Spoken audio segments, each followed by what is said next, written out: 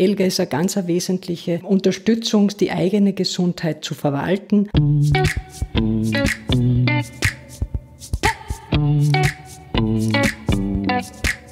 Willkommen bei Gesund informiert, deinem Podcast, der Gesundheit verständlich macht.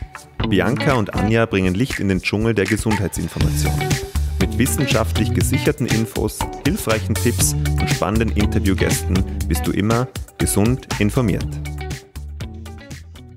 ELGA. Viele kennen diese Abkürzung oder haben sie zumindest schon einmal gehört.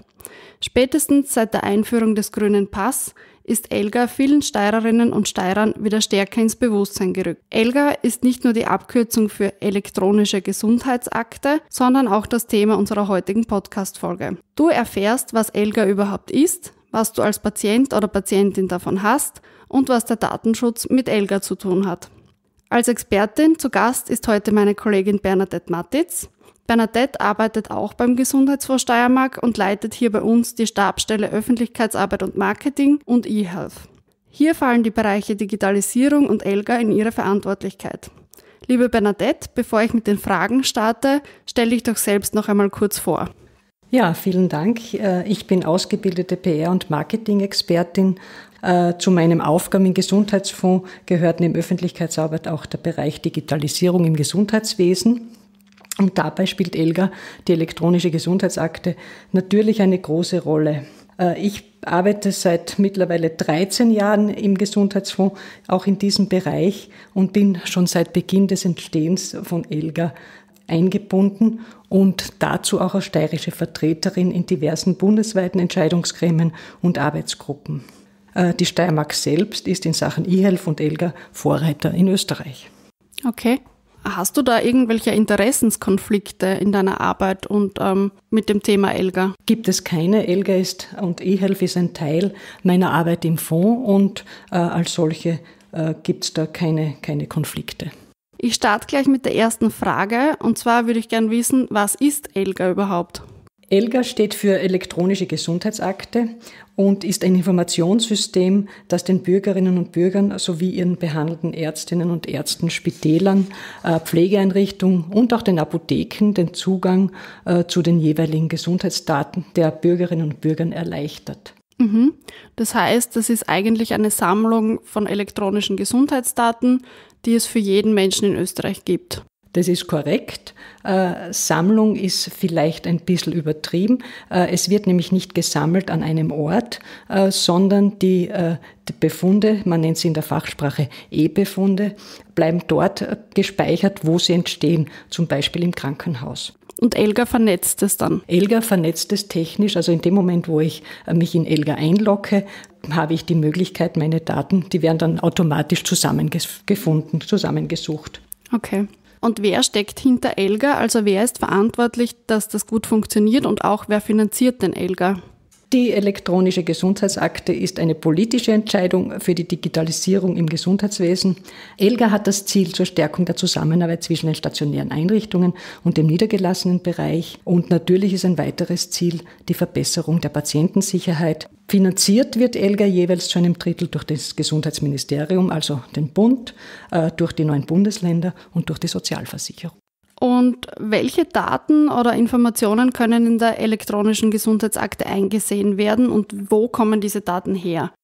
Alle Befunde aus Spitalsaufenthalten seit frühestens 2016. Äh, und zwar sind das der ärztliche Entlassbrief, der pflegerische Entlassbrief, Laborbefunde und Röntgenbefunde. Auf der anderen Seite alle vom Arzt verschriebenen Medikamente, äh, die sind in der E-Medikation zu finden und die werden seit circa 2018 einsehbar. Alle Daten, die davor entstanden sind, äh, gibt es nicht. Es wurde nichts zurück nacherfasst, sondern erst mit Entstehen von Elga die Daten entsprechend äh, gesammelt. Okay, das hört sich jetzt alles ein bisschen kompliziert an, ähm, aber wie funktioniert das denn jetzt in der Praxis? Wie komme ich zu meiner Elga und wo kann ich mich da einloggen? Die persönliche elektronische Gesundheitsakte ist über das ELGA-Portal auf www.gesundheit.gv.at erreichbar. Äh, und nach der Anmeldung mit der Handysignatur oder der Bürgerkarte erfolgt dann die eindeutige und sichere Identifizierung des jeweiligen Bürgers, der jeweiligen Bürgerin. Das heißt, da kann wirklich nur ich persönlich mich einloggen mit meiner Handysignatur oder Bürgerkarte. Genau. Äh, bei der Identifizierung durch die Handysignatur Bürgerkarte erhält der Patient, die Patientin eine eindeutige Kennung. Und diese eindeutige Kennung hat nur jeweils der eine Bürger und sonst kein zweiter. Also mit Namengleichheiten gibt es da keine Probleme. Und wie funktioniert das mit der ELGA-Teilnahme? Bin ich da automatisch dabei oder muss ich mich anmelden? Und grundsätzlich sind alle Bürger von Österreich bei ELGA. Eine Teilnahme an ELGA ist freiwillig und ich habe die Möglichkeit, mich hinauszuoptieren, mich abzumelden. Jetzt hast du erklärt, wie das funktioniert, wie ich zu meiner ELGA komme und mich einloggen kann. Was sehe ich denn, wenn ich mich da einlogge und was steht da alles in meiner ELGA? Äh, sobald ich eingeloggt bin, sehe ich alle meine Befunde, sofern ich Krankenhausaufenthalte hatte, äh, und eine Liste mit den verschriebenen Medikamenten. Äh, interessant und wichtig ist es auch zu erwähnen, dass nicht nur der niedergelassene Arzt oder das Krankenhaus die Daten meiner Elga sieht, sondern auch die Apotheke kann meine Medikationsdaten einsehen. Und ich sehe zusätzlich noch, wer und wann auf meine Elga-Daten zugegriffen hat. Das ist die Protokollierung. Und dann habe ich noch einige Möglichkeiten. Ich kann beispielsweise äh, einzelne äh, GDAs, sprich einzelne Gesundheitsdiensteanbieter, berechtigen, äh, einen längerfristigen Zugriff zu haben. Grundsätzlich ist er für Ärzte für 28 Tage eingestellt, für Apotheker für zwei Stunden. Äh, das kann ich verändern. Ich könnte auch meine eigenen Dokumente, die ich in Elga 1 sehe, herunterspeichern und für mich woanders äh, abspeichern. Das ist an und für sich alles mit meiner Akte möglich. Okay, ich habe mich vorab schon einmal eingeloggt in meine Elga und ich habe da zum Beispiel gesehen, dass ich ähm, Covid-Schnelltests in der Apotheke abgeholt habe und ich habe auch meinen E-Impfpass gesehen. Gehört der E-Impfpass zu Elga? Der E-Impfpass ist keine ELGA-Anwendung. Jetzt wird es schon ziemlich technisch. Der E-Impfpass ist eine Urkunde, so wie auch der bisherige gelbe Impfpass und ist nur mit Handysignatur auch einsehbar. Ich muss nicht in ELGA eingeloggt sein oder kein ELGA-Teilnehmer sein, kann ich trotzdem äh, meinen E-Impfpass elektronisch verwenden. Du hast vorhin erklärt, dass wir eigentlich alle automatisch an ELGA teilnehmen und uns da einloggen können. Ähm, wenn ich das nicht möchte, muss ich mich abmelden. Das stimmt, oder? Das stimmt. Wenn ich nicht an ELGA teilnehmen möchte, muss ich mich abmelden. Dafür gibt es eingerichtete Widerspruchsstellen äh, oder auch die ELGA-Ombudsstellen äh, machen das. Okay, wir werden auch im Text auf gesundinformiert.at noch genau beschreiben, wie diese Abmeldung funktioniert. Aber jetzt hast du gesagt, der E-Impfpass, den sehe ich zwar in meiner Elga, aber der gehört da eigentlich nicht so richtig dazu. Ähm, ich kann mich von Elga abmelden, kann ich mich auch vom E-Impfpass abmelden? Nein, vom E-Impfpass gibt es keine Möglichkeit, sich abzumelden. Wie gesagt, äh, der Impfpass ist ein, eine Urkunde und damit äh, entsprechend geschützt. Und man sieht den äh, E-Impfpass natürlich auch in der eigenen ELGA-Akte. Aber hätte ich keine ELGA-Akte oder hätte mich abgemeldet, dann sehe ich den Impfpass, sobald ich mich äh, in das System einlogge. Okay. Ähm, dann kommen wir zu den Vorteilen von ELGA. Was hat ELGA denn für Vorteile für mich als Patientin? ELGA hat ziemlich viele Vorteile.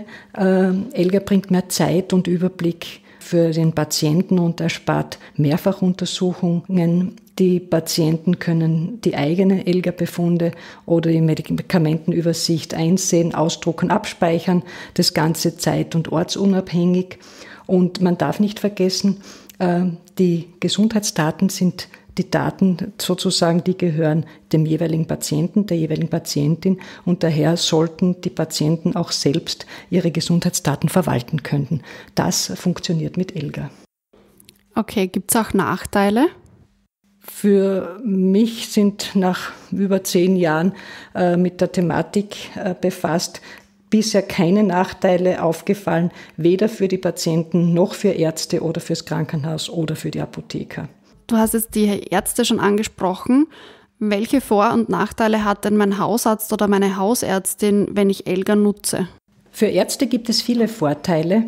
Äh, mein Hausarzt, meine Hausärztin kann jederzeit äh, in meine Elga-Akte einsehen. Vielleicht äh, an diesem Punkt für den Arzt, für das Krankenhaus und auch für die Apotheke ist die E-Card der Schlüssel die müssen zuerst die E-Card stecken, erst dann kriegen sie einen Zugang äh, zu meiner Elga-Akte. Ansonsten haben sie keinen Zugang, außer eben in dieser äh, Frist, wo sie mich behandeln, sprich beim Arzt sind es maximal 28 Tage und in der Apotheke maximal zwei Stunden. Der Hausarzt äh, kriegt meine Informationen, äh, hat ein aktuelles Wissen über die Erkrankungen äh, seiner Patientin oder seines Patienten, äh, kann sich verstärkt um die Qualität seiner diagnostischen und therapeutischen äh, Aufgaben widmen. Und er hat schnell einen Überblick äh, über, über die vorliegenden äh, Befunde beziehungsweise auch über die Medikationen, die dem Patienten verschrieben wurden. Und er spart sich einiges an Fragen und vor allem, was wichtig ist, gerade bei der Medikation, wenn man nicht genau weiß, wie heißt das Medikament, das ich gerade schlucken muss, äh, es steht ganz korrekt in der ELGA und kann äh, über die E-Medikation abgerufen werden.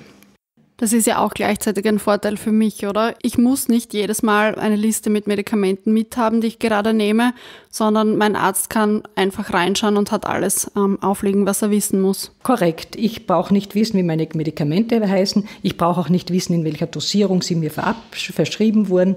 Ähm, das kann der Arzt direkt aus der E-Medikation ablesen. Jetzt sind wir schon bei der E-Medikation. Was ist denn das genau? Die E-Medikation ist die Liste der verordneten Medikamente. Die verordneten Medikamente meines Hausarztes werden seit einigen Jahren in der Medikationsliste in ELGA gespeichert und äh, ich brauche mir daher nichts mehr zu merken. Äh, es ist im Wesentlichen das, was am Rezept draufsteht, das heute einen QR-Code hat, ähm, mit dem ich von der Apotheke dann mein Rezept äh, abholen und einlösen kann. Und der Vorteil ist, durch dieses Scannen dieses QR-Codes äh, wird auch in meiner ELGA vermerkt, dass ich das verordnete Medikament bei der Apotheke abgeholt habe. Und auch das wird mitprotokolliert. Das sieht dann auch der Arzt, dass ich meine Medikamente auch abgeholt habe. Jetzt habe ich zwei Nachfragen zur E-Medikation und die erste wäre, sind da nur verschriebene Medikamente drinnen oder auch andere Dinge, die ich in der Apotheke abhole? Ganz eine wichtige Frage. Grundsätzlich sind alle verschriebenen, vom Arzt verschriebenen Medikamente in der E-Medikation, aber ich kann äh, in der Apotheke direkt äh, Medikamente kaufen. Das sind die sogenannten OTC-Präparate, Over-the-Counter-Präparate. Und ich kann meinen Apotheker bitten, dieses Präparat auch in meiner ELGA einzutragen. Und die zweite Frage, wer schaut sich der Arzt oder die Ärztin dann diese Medikamentenliste an? Um zu sehen, ob es eventuell Wechselwirkungen gibt. Genau, also in diesem Fall habe ich dann sogar eine doppelte äh, Prüfung meiner, Medika meiner verordneten Medikamente. Der Arzt schaut sich grundsätzlich alle Medikamente an, die ich einnehme oder einnehmen muss, um äh, Wechselwirkungen auszuschließen. Und die zweite Möglichkeit ist dann beim Apotheker, wenn ich weitere Medikamente kaufe, die nicht vom Arzt verordnet wurden. Und was ist der E-Befund? Der E-Befund ist die elektronische Variante eines bisherigen Papierbefundes. Und hier gibt es äh, verschiedene Befundarten und die sind für ELGE in einem besonderen Standard aufgebaut. Die Befunddokumente sind alle gleich strukturiert. Das heißt, äh, der Absender, beispielsweise das Krankenhaus oder der Arzt, steht immer an derselben Stelle des Dokuments. Die Daten des Patienten oder auch die Diagnose und Informationen zur Medikation sind an derselben Stelle, egal von wem diese ausgestellt wurden. Und das macht es natürlich viel einfacher, einen Befund zu lesen, weil der Arzt sofort weiß, wo er hinschauen muss. Okay, das heißt auch die Befunde sieht mein Arzt oder meine Ärztin. Genau, auch der Arzt, die Ärztin, egal ob im Krankenhaus oder äh, im niedergelassenen Bereich, sehen die I-Befunde. Und dabei gibt es im Moment konkret vier Befundarten. Das ist der Laborbefund, der Befund für bildgebende Diagnostik, sprich der Röntgenbefund, sowie der Entlassungsbrief der Pflege und der ärztliche Entlassungsbrief. Okay, auch hier wieder ein Vorteil für Patientinnen und Patienten, weil die Befunde muss ich nicht selbst mithaben, die sind eh sowieso in meiner Elke gespeichert. Jetzt hätte ich eine Frage und zwar brauche ich ja einen Computer, um mich in meine Elga einzuloggen und meine Gesundheitsdaten einzusehen. Was ist denn mit Menschen, die keinen Computer haben oder sich nicht so gut auskennen? Können diese Menschen trotzdem Elga für sich gut nutzen? Für genau diese Personen wurden die ELGA-Ombudsstellen in den Bundesländern eingerichtet. Die unterstützen genau diese Bürger, die selbst keine Möglichkeit haben, auf die eigene ELGA-Akte zuzugreifen. Äh, die ELGA-Ombudsstelle äh, ist für die steirische Bevölkerung in der Patienten- und Pflegeombudsstelle eingerichtet, in Graz in der Friedrichgasse. Und äh, wenn ich dort anrufe oder dorthin gehe und mich ausweise, dann dürfen die Kolleginnen in die jeweilige ELGA-Akte Einsicht nehmen und genau das tun, was der jeweilige Patient von ihnen einfordert. Okay. Wenn ich mich jetzt für ELGA entscheide und ähm, daran teilnehme, also mich auch einloggen kann, meine Gesundheitsdaten sehe, mein Arzt sieht meine Gesundheitsdaten, weiß dann jeder über meine Krankheiten Bescheid? Also ich denke mir, wenn ich mal eine Versicherung abschließen möchte oder auf der Suche nach einem neuen Job bin, kann das dann gegen mich verwendet werden?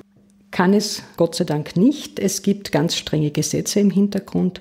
Ähm, grundsätzlich ist es so, dass nur ein berechtigter ELGA Gesundheitsdiensteanbieter, sprich ein Arzt oder Krankenhaus oder Apotheker, äh, darf auf meine ELGA Gesundheitsdaten zugreifen. Äh, es ist eine ganze große Gruppe von medizinischem Personal ausgeschlossen und das ist ganz deutlich auch nachzulesen äh, im ELGA Gesetz und es gelten grundsätzlich die Vorgaben des Datenschutzes und bei Datenmissbrauch gibt es entsprechende Bestimmungen, die zur Strafe führen. Das heißt, im Gesetz ist ganz genau geregelt, wer sich meine Gesundheitsdaten in der elektronischen Gesundheitsakte anschauen darf und auch wer nicht. Kannst du das noch einmal ähm, erklären, wer zugreifen darf und wer nicht? Genau, im ELGA-Gesetz ist es ganz, ganz deutlich geregelt. Und vielleicht noch ein Hinweis, in meiner eigenen ELGA-Akte kann ich unter Protokoll nachschauen, wer hat auf meine Akte zugegriffen. Da stehen alle Personen drinnen, die zugreifen können die, oder die zugegriffen haben. Wer nicht zugreifen darf, laut ELGAS-Gesetz, das sind Chefärzte der Sozialversicherung, Ärzte, die für private Versicherungen Untersuchungen durchführen, Behörden äh, und Amtsärzte, Schulärzte, Betriebsärzte, Stellungsärzte des Bundesheeres, und natürlich jene Ärzte, die durch den Patienten vom Zugriff ausgeschlossen wurden. Das heißt, ich kann selbst sagen, äh, ein, ein, Arzt, eine Ärztin will ich nicht haben, dass, dass diese Person auf meine Akten zugreift. Das muss ich in meiner eigenen ELGA-Akte dann entsprechend anmerken. Du hast mir vorab erzählt, dass Elga auch laufend weiterentwickelt wird. Was ist denn für die Zukunft geplant? Elga entwickelt sich ganz, ganz massiv weiter. Es werden äh, in den Befundbereichen weitere Diagnose- und Leistungsdokumente entwickelt. Ein ganz wichtiger Punkt ist die Patientenverfügung äh, als schriftliche Willenserklärung, mit der der künftige Patient eine medizinische Behandlung ablehnt, die nur dann wirksam wird, wenn der Patient zum Zeitpunkt der Behandlung nicht entscheidungsfähig ist. Das Konzept ist dabei gerade in Ausarbeitung. Mhm. Das heißt, da wird sich noch einiges tun in Zukunft. Wo kann ich mich denn näher über ELGA informieren? Wo kann ich denn das alles nachlesen, was wir heute besprochen haben? Grundsätzlich finden wir alle Informationen über das öffentliche Gesundheitsportal Österreichs unter www.gesundheit.gv.at. Hier kommt man auch auf die Einstiegsseite zum ELGA-Portal oder auch natürlich über die ELGA GmbH äh, unter www.elga.gv.at. Und was vielleicht noch wesentlich ist, Informationen zu ELGA gibt es auch bei jedem Arzt, bei jeder Ärztin oder in den Apotheken. Das werden wir dann natürlich auch in der Folgenbeschreibung verlinken. Liebe Bernadette, bevor ich das Wichtigste aus unserer Folge zusammenfasse, noch einmal die Frage an dich. Haben wir irgendwas vergessen? Wäre irgendwas noch ganz wichtig, das unsere Hörerinnen und Hörer wissen? Aus der langjährigen Arbeit mit Elga und über Elga und mit vielen, vielen Ärztinnen und Ärzten und Apothekern und Gesprächen und Veranstaltungen und Projekten, die wir zwischenzeitlich durchgeführt haben, äh, würde ich persönlich jeden Bürger, jeder Bürgerin raten, sich nicht von Elga abzumelden. Elga ist eine ganz wesentliche äh, Unterstützung, die eigene Gesundheit zu verwalten. Und äh, mit Zunahme der Zeit gibt es auch sehr viele Informationen äh, über meine Gesundheits- und Gesundheitsdaten in Elga. Und ich glaube, das macht Sinn, wenn man das über lange Zeit chronologisch hat und man braucht nicht zu Hause äh, die Sackerln und Mappen mit, mit, mit Befundlisten haben, sondern man hat es gut sortiert und koordiniert elektronisch verfügbar. Und es ist ja auch für Patientinnen und Patienten sehr praktisch, wie wir gelernt haben. Genau. Dann komme ich zu meiner Zusammenfassung. Und zwar habe ich heute gelernt, dass ELGA, die elektronische Gesundheitsakte, Gesundheitsdaten von Patientinnen und Patienten vernetzt. Also Daten vom Hausarzt, von der Hausärztin, aus dem Krankenhaus und so weiter. ELGA ermöglicht mir eine Gesamtübersicht über alle Diagnosen und pflegerischen Maßnahmen, die Ärzte durchgeführt haben und auch über meine verschriebenen Medikamente. Es gibt viele Vorteile für mich als Patientin. Vor allem ist es bequem. Ich muss meine Medikamentenliste nicht mehr mithaben. Ich muss meine Befunde nicht mehr mithaben, weil das ist alles in der ELGA gespeichert. Das erleichtert auch die Abklärung von Krankheiten für Ärztinnen und Ärzte und es gibt einen guten Überblick über alle Befunde und Medikamente. Nachteile für Patientinnen und Patienten gibt es eigentlich keine, denn auch der Datenschutz ist ganz streng geregelt und wird natürlich auch ganz streng befolgt. Wir sind schon wieder am Ende unserer Folge angelangt und wir kommen zur letzten Frage ähm, an meinen lieben Gast. Liebe Bernadette, was ist denn dein persönlicher Tipp für ein gesundes Leben? Mein Tipp für ein gesundes Leben, viel Bewegung, gute, gesunde Ernährung in Maßen, vor allem positives Denken und unbedingt viel Spaß haben. Das können wir uns alle gut mitnehmen, glaube ich. Danke, dass du heute bei mir zu Gast warst und meine Fragen beantwortet hast. Und wir hoffen, diese Folge hat dir zu Hause gefallen und du bist auch das nächste Mal wieder dabei. Wenn du mehr zum Thema Gesundheit wissen willst oder den Podcast nachhören möchtest, dann schau auf unserer Webseite gesund-informiert.at. Wenn du Themen für uns hast, die dich interessieren, dann schreib uns unter gesund-informiert.gfscmk.at. Wir freuen uns schon auf ein Wiederhören. Bis dahin, bleib gesund und informiert. Baba, Bianca und Anja von Gesund informiert, deinem Podcast, der Gesundheit verständlich macht.